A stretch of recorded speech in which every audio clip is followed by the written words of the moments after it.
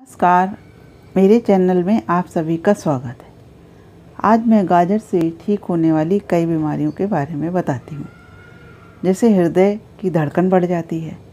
तो इसमें हम क्या करते हैं? चार पाँच गाजर छील करके, उसको पीस करके, उसमें गुलाब की पत्तियों का दो तीन चम्मच रस और मिश्री मिलाकर सुबह शाम खाने से हृदय की धड़कन सामान्य हो जाती है।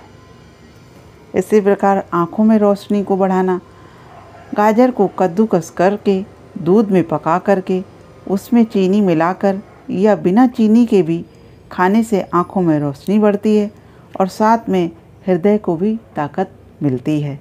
किसी किसी को छाती में दर्द हो जाता है। इसके लिए भी गाजर को भाप में पका करके, उसमें 10 ग्राम रस निकाल कर उसमें शहद मिलाकर पीने से छाती का पेन खत्म होता है। अगर आपको ये वीडियो अच्छी लगी तो लाइक करिए अपनों में शेयर करिए चैनल को सब्सक्राइब करना ना भूलें।